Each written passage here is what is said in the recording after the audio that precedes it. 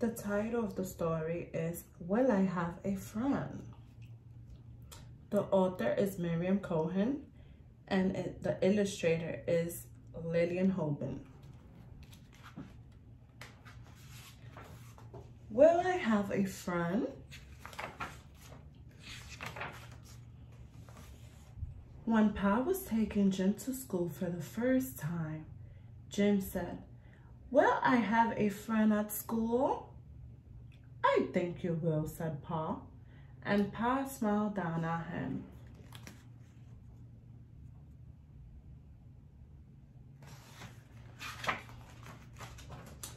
In the big schoolroom, Pa said goodbye. Jim said didn't say anything. He didn't want to say goodbye. Come, Jim, the teacher said. All the boys were making noise. All the girls were laughing. Where was his friend?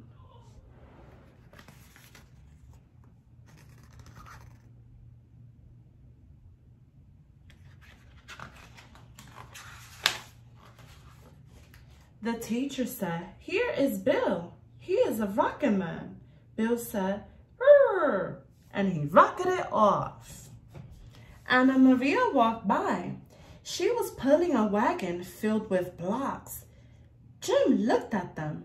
Anna Maria skipped away.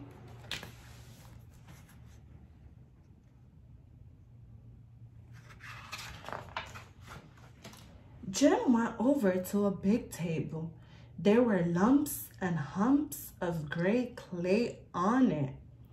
The children were pulling and pinching, poking, and patting the clay. They were making snakes, hills, holes, and a banana. Jim reached out and touched the clay. It was cool and wet. When he picked it up, it was heavy.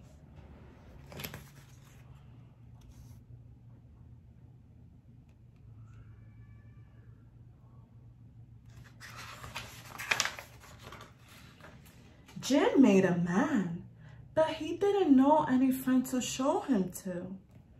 Now it was orange juice and cookie time. George said, I want to pass the cookies. Look, shouted Bill, I bit the moon. So did I, said Anna Maria.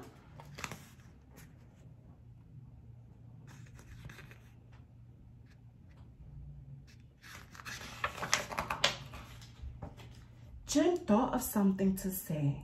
He said it to Joseph, but Joseph's mouth was full of cookies. He didn't ask, answer. The pitcher was empty. Juice time was over. Sarah was telling Margaret a secret. Jim looked at them. Where was his friend?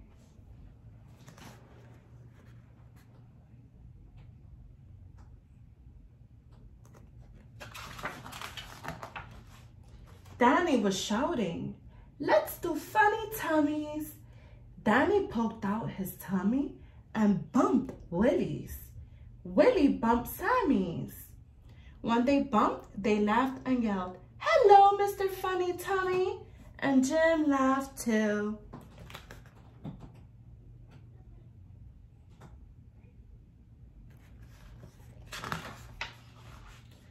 The teacher called, Come to story time. All the children came running. Jim sat next to Paul. The teacher read them a book about a monkey.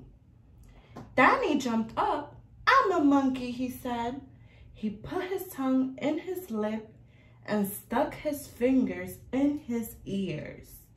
Jim thought he looked just like a monkey.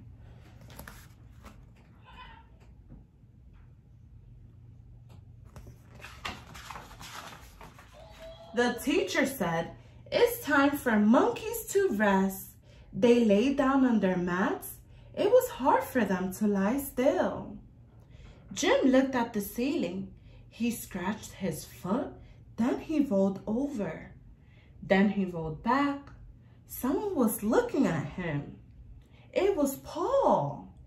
He had something in his hand. Hmm.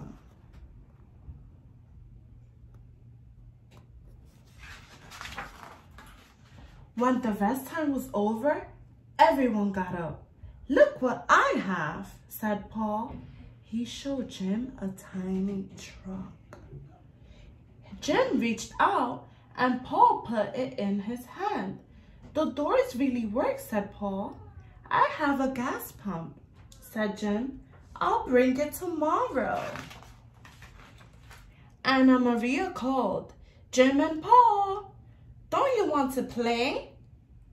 Okay, Jim, asked Paul. Okay, said Jim. After school, skipping home, Jim said to Pa, Do you know what? I have a friend at school. I thought you would, said Pa, and Pa smiled down at him.